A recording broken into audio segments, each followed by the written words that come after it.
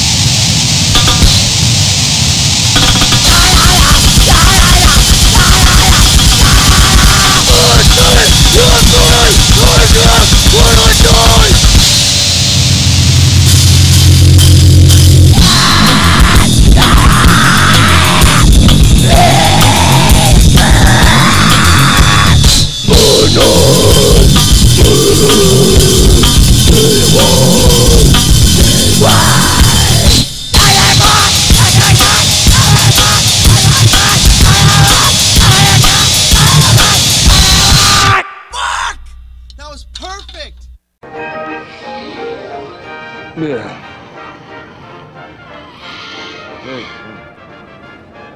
Ah, devil ether. It makes you behave like the village drunkard in some early Irish novel. Total loss of all basic motor skills. Blurred vision, no balance, numb tongue. The mind recoils in horror, unable to communicate with the spinal column. Which is interesting because you can actually watch yourself behaving in this terrible way, but you can't control it.